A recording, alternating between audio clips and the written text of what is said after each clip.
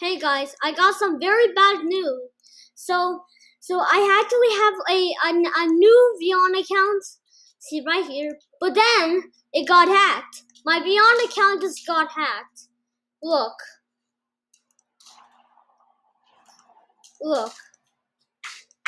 I didn't make this. I I didn't even make this.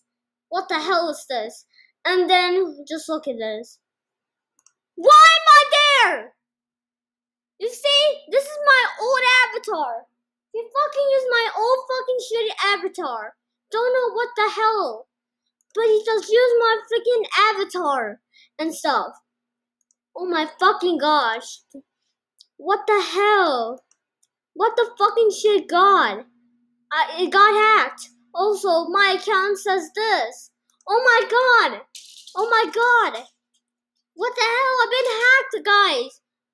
My new Vyond account just got hacked. Guys, you gotta help me.